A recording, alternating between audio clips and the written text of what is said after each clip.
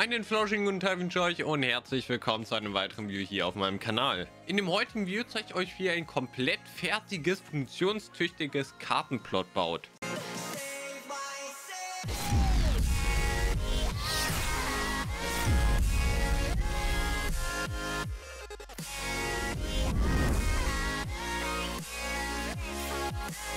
Punkt Nummer 1, was zu beachten ist, die City-Build-Auswahl. Ihr könnt das natürlich auf eurem City-Build bauen, wenn jetzt euer City-Build 22 ist oder Evil. Evil würde ich euch so oder so nicht empfehlen, wegen den ganzen Haufen Süchtigen, die da dauerhaft den CB na spätestens nachmittags immer voll besetzen. Bei 22 kann es sein oder 21, dass auch es manchmal Lags gibt, weil wir werden auch mit Redstone bauen und damit das nicht beeinträchtigt wird, empfehle ich euch irgendeinen anderen niedrigen CB-Miner, wäre jetzt zum Beispiel City Build 4, wo ich hauptsächlich unterwegs bin. Deswegen tue ich dort mir meinen Kartenplot erstellen. Ich würde euch natürlich immer empfehlen, euch leere Grundstückswelten hier zu suchen. Hier wir zum Beispiel auch jemanden, der mitten im Nevada sein Plot gebaut hat. Und das werden wir natürlich auch machen, weil das mit dem Claim natürlich umso einfacher geht. Angenommen, wir haben jetzt hier eine freie Fläche, wo die umgebenden Plots hier alle soweit frei sind. Dann gehen wir zum Beispiel hier an das Plot und nehmen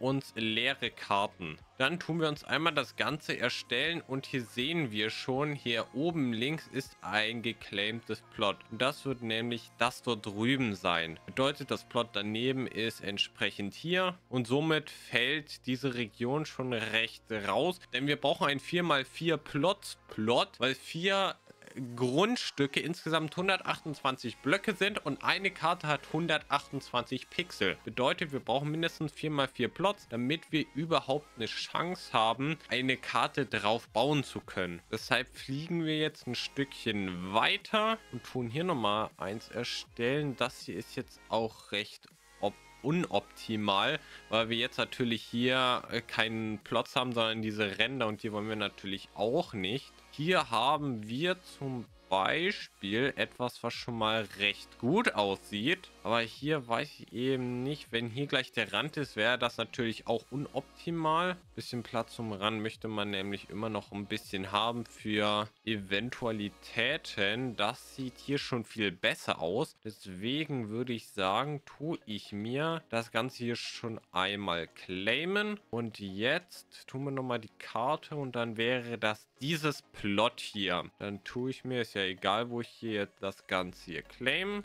tue ich das Ganze nochmal machen. Bedeutet, das hier wäre das erste Plot und jetzt denke ich mal, wird es das darüber sein. Ah ne, es ist das darunter. Bedeutet, wir stehen jetzt so hier. Und wenn wir jetzt äh, dieses Plot hier claimen, müsste dieses hier rot werden. Das machen wir einmal. Und das Ganze hat funktioniert, wie wir sehen. Das bedeutet, wir werden uns jetzt diese ganzen Plots hier einmal claimen. Das bedeutet insgesamt 16 Plot-Gutscheine. Die sind natürlich immer billiger, deswegen empfehle ich euch die. Das Ganze habe ich jetzt gemacht. Wir stellen ja nochmal in Karte und jetzt sehen wir, das Ganze hier ist jetzt unser Bereich. Diese einzelnen Blöcke hier, das sind die Schilder. Deshalb ist das ein leicht veränderter Farbton. Und das Ganze wollen wir jetzt natürlich merchen. Dazu gehen wir ans Ende eines Plots, schauen in diese Richtung, merge das Ganze einmal dahin, das Ganze einmal laden, dann schauen wir hier mittig einmal drauf und erstellen diesen, ich sag mal, Kamm. Das Ganze haben wir auch dann einmal in die Richtung nochmal schauen und dann haben wir dieses ganze Feld. Wir können nochmal eine Karte stellen und schon sehen wir, dass jetzt diese 128 x 128 Pixel bzw. Blöcke Karte und hier können wir nun unsere Karte bauen. Wir können jetzt irgendeinen beliebigen Block, ich nehme jetzt einfach mal einen Redstone Block. Ihr könnt natürlich auch Gold, Kohle nehmen, je nachdem. Und jetzt tun wir uns einfach mal sagen, hier diesen Redstone Block hinklatschen. Und jetzt sehen wir, der ist zum Beispiel gar nicht drauf. Bedeutet, setzen wir uns hier nochmal ein hin. Und jetzt wäre der hier oben. Bedeutet, wenn wir jetzt schauen, das ist zum Beispiel jetzt die Nordseite. Das ist auch eine essentiell wichtige Seite. Wir müssen nämlich jetzt den obersten Punkt hier rausfinden. Bedeutet, wir bauen uns den Block jetzt mal hier hin und tun das hier nochmal zur Orientierung weg. Nehmen uns nochmal eine leere Karte. Und jetzt würde ich sagen, müssen wir nochmal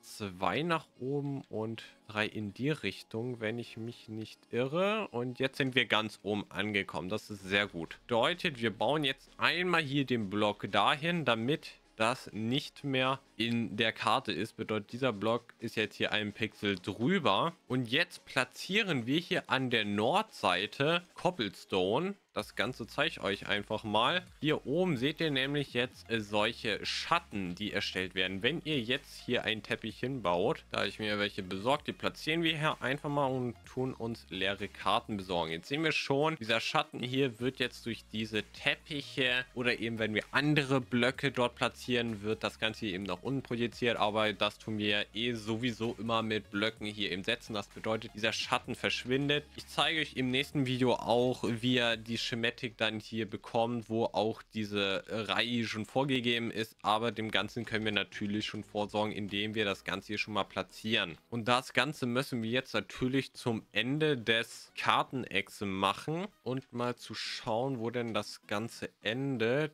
sehen wir, wir brauchen noch ein Stück. Dann schauen wir mal wieder, wie es aussieht. Und hier sind jetzt drei Blöcke anscheinend schon draußen. Bedeutet, platzieren wir hier einmal. Tun das Ganze wieder wegmachen.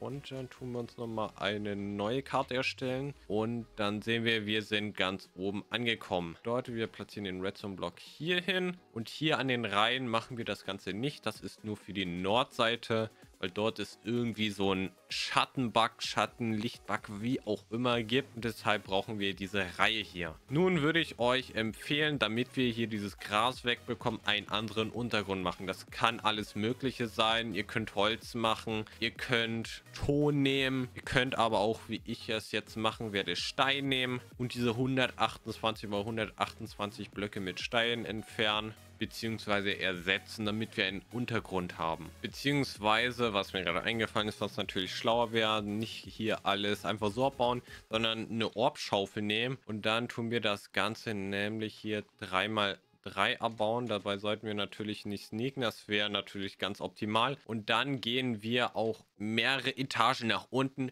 denn wir wollen ein Filter- bzw. Trichtersystem noch bauen. Falls wir hier nämlich die ganzen Blöcke abbauen, dann soll das Ganze natürlich nämlich aufgefiltert sein, damit wir nicht übers ganze Plotzimmer rennen müssen, um die ganzen Materialien nämlich einzuholen. Und das Ganze tun wir jetzt mit diesen 128 mal 128 Blöcken. Ich würde sagen, ich empfehle euch 1, 2, 3, 4, 5, 6, 7, 8 Mal nach unten zu gehen und das sollte vom Platz her auch genügen. Ich habe das Ganze jetzt neun Blöcke tief gemacht, weil es sich mit der Orbschaufel einfach so am besten anbietet. Und diese Fläche bedeutet, das finden wir jetzt einfach alles komplett mit Stein auf. Aber halt nur natürlich diese eine Fläche hier. Nachdem wir die Schicht hier oben komplett mit unserem Steinholz, je nachdem was ihr genommen habt, in fertig haben, haben wir jetzt hier unten einen Hohlraum und den benutzen wir, um die Filter- bzw. Trichteranlage eben hinzubauen. Und da wir auf Prüfergens einen bestimmten Radius eben für die Trichter erhöhen können, nutzen wir das natürlich auch. Ich habe das Ganze jetzt so gemacht, ich bin hier von einem Eckpunkt 10 rein, das auf der anderen Seite ebenso, die 128 minus die 18, was wir eben Rest übrig war. Und dann kam halt eben raus, dass jetzt alle elf Blöcke hier in Trichter setzt. Tun wir dann, wenn wir alle gesetzt haben, natürlich dann hier auch einstellen,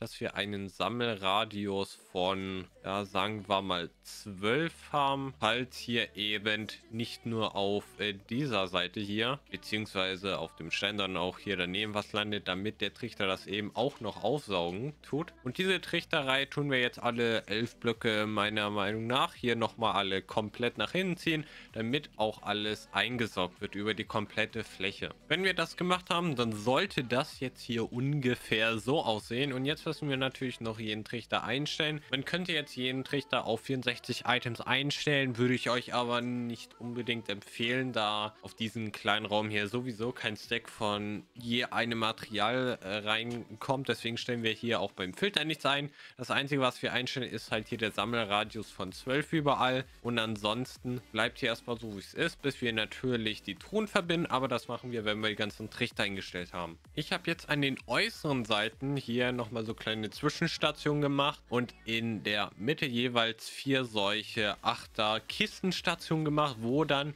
die ganzen Items hier reinkommen. Außen habe ich hier eben nochmal eine kleine Zwischenstation gemacht. Jeweils immer von da oben landet das in dem Trichter und dann hier runter. Das müsstet ihr natürlich dann bei euch alles einstellen. Und das leitet ihr dann eben hier per Mehrfachverbindung an diese Ton weiter. Die Verbindung kann halt nicht über hunderte Blöcke laufen, deswegen da nochmal eine kleine Zwischenstation. Könnt das aber auch hier oben eben lang laufen lassen, wie ihr das halt haben wollt. Trichter hat halt nur hier diese fünf Slots, deswegen habe ich das nochmal mit einer Kiste dazwischen gepackt. Und hier könnt ihr dann euch könnt ihr auch Selat hernehmen oder wenn ihr Fulbright habt, könnt ihr es auch komplett weglassen. Wie ich habe es jetzt einfach nur so gemacht, weil ich das Ganze am Ende auch in eine Schematic packe und die euch in der Beschreibung unten reinpacke für die Leute, die jetzt nicht alles so abbauen wollen. Wenn ihr Schematic habt, dann nutzt das einfach packt hier einfach in eure, die Item Frames halt die Items rein, die dann eben nur in dieser Kiste landen. Zum Beispiel kommen hier nur blaue Teppiche, in den anderen kommt dann nur Prismarinzeug. Wenn wir hier unten das Ladesystem haben, das können wir natürlich oder könnt ihr, wie ihr wollt, immer vergrößern. Ich habe das jetzt alles nur mal als Beispiel gemacht. Das Ganze könnt ihr euch hier anpassen, wie ihr wollt. Jetzt haben wir hier oben natürlich unsere Baufläche und können mit allen möglichen Blöcken den bauen.